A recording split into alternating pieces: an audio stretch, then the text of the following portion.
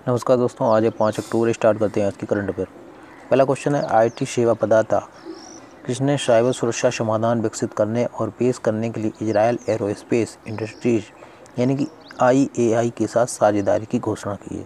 तो ये घोषणा की है टेक महिंद्रा ने, यानी कि इसका जो करेक्ट आंसर है वो है फ़र्स्ट नेक्स्ट क्वेश्चन है एशियाई विकास बैंक, यानी कि एशियन डेवलपमेंट बैंक एडीबी ने भारत को कितने मिलियन डॉलर के ऋण को मंजूरी दी है? तो ये मंजूरी दी है दो सौ चालीस मिलियन डॉलर की, यानी कि इसका जो करेक्ट आंसर है वो सेकेंड नेक्स्ट क्वेश्चन है, इनमें से किस राज्य के मुख्यमंत्री ने राज्य में मीसल्स रुबेला टीकाकरण अभियान एमआरवीसी लॉन्च किया है?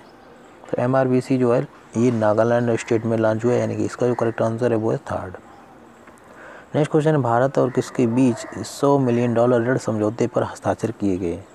तो ये समझौते पर हस्ताक्षर जो है, वो किए हैं एशियाई विकास बैंक, यानी कि एडीबी के साथ। इसका जो करेक्ट आंसर है, वो है फोर्थ नेक्स्ट क्वेश्चन है, किसने Bharatiya railway station Vikas Nigam limited IRSTC द्वारा नोडल एजेंसी के रूप में रेलवे स्टेशनों के पुनर्विकास को मंजूरी दे दी है? तो ये मंजूरी दी है केंद्रीय मंत्रालय ने। यानी कि इसका जो करेक्ट आंसर है, वो है फ़र्स्ट नेक्स्ट क्वेश्चन है, सड़क परिवहन और सड़क उद्योग में द्विपक्षीय सहयोग पर इनमें से किस देश के बीच एक समझौता ज्ञापन पर हस्ताक्षर किए गए थे? तो ये समझौता जो है भारत और रूस के बीच हुआ है, यानी कि इसका जो करेक्ट आंसर है वो है सेकेंड नेक्स्ट क्वेश्चन है, सुप्रीम कोर्ट ने इन अधिनियमों में से किसकी संवैधानिक वैधता को बरकरार रखा है? तो जीएसटी जो है, वस्तु और सेवा कर, यानी कि राज्यों के लिए मुआवजा दो हज़ार सत्रह का अधिनियम, इसके लिए संवैधानिक वैधता को बरकरार रखा है, यानी कि इसका जो करेक्ट आंसर है वो है फोर्थ नेक्स्ट क्वेश्चन है, केंद्रीय मंत्रिमंडल ने भारत और किसके बीच मुक्त व्यापार समझौते में संशोधन के दूसरे प्रोटोकॉल को यथार्थ स्वीकृति दी है यथार्थ स्वीकृति जो है, सिंगापुर को दी है, यानी कि इसका जो करेक्ट आंसर है, वो है फ़र्स्ट नेक्स्ट क्वेश्चन है, केंद्रीय मंत्रिमंडल ने किसके सहयोग को बढ़ावा देने के लिए भारत और रूस के बीच एक समझौता ज्ञापन को मंजूरी दे दी है? तो ये मंजूरी दी है छोटे और मध्यम उद्यमों के बीच सहयोग को, यानी कि एम एस ई के बीच।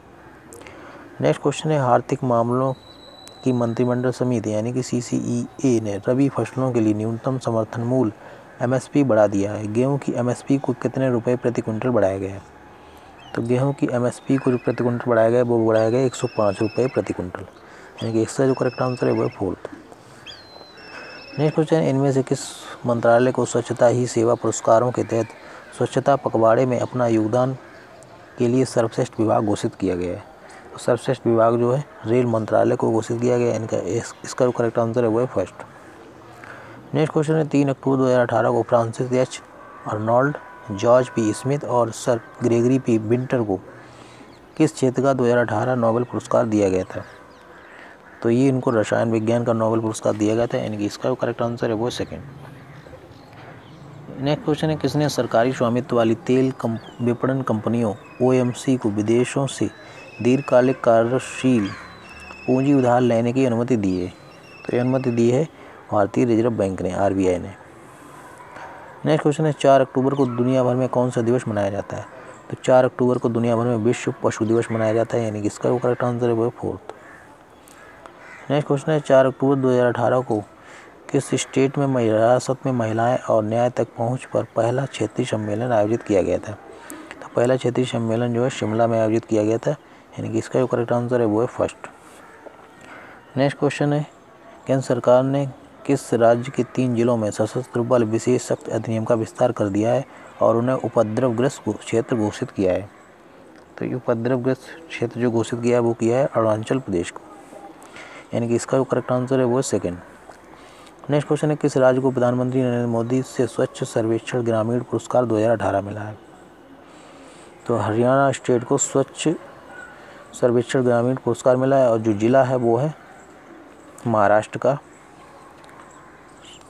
सोतार। नेक्स्ट क्वेश्चन है, भारत ने किस देश की सुलावेशी प्रांत में भूकंप और सुनामी पीड़ितों की सहायता के लिए ऑपरेशन समुद्र मैत्री शुरू किया है?